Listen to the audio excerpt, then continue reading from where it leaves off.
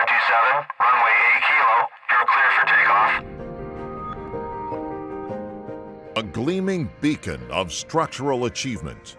The new San Francisco International Airport Traffic Control Tower, accented by its soaring, flared design and glistening metal paneling, is a dazzling addition to the Bay Area horizon. But this triumph of engineering ingenuity is more than just a pretty face. Located near the San Andreas Fault, the tower contains groundbreaking seismic safeguards designed to withstand a 7.5 magnitude earthquake, a critical component since its 1960s era predecessor was knocked out during the 1989 Loma Prieta earthquake.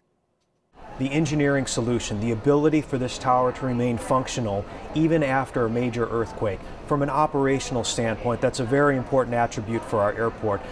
If you can't run a tower, you can't run an airport. And to know that this has been designed to keep going even under the worst of conditions, that's important for us. The 231 foot tall tower features a revolutionary cast in place reinforced concrete core cylinder with vertical post tensioning, possessing an incredible self righting capability and making the sleek structure amazingly resistant to toppling. When major seismic forces cause the core to bend, the post tensioning strands respond with an extreme clamping force to snap the tower back to its initial position.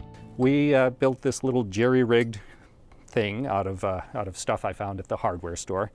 And this shows the self-centering capability of our tower on top of the building. We've got a rigid building at the base, and then we've got a vertically post-tension tower that really just articulates at the top of our base building and comes back. And that's the system.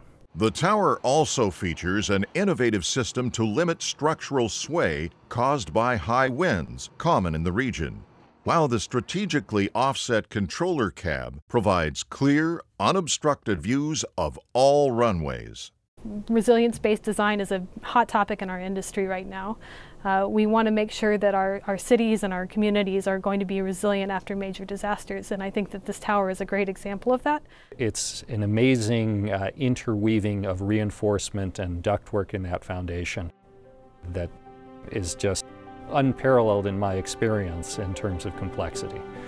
It harkens to bygone days when there were lighthouses in harbors that welcomed the ships into the harbor. The airport is like a modern day harbor and a modern day port. The tower is like a beacon that welcomes the passengers from all over the world to San Francisco.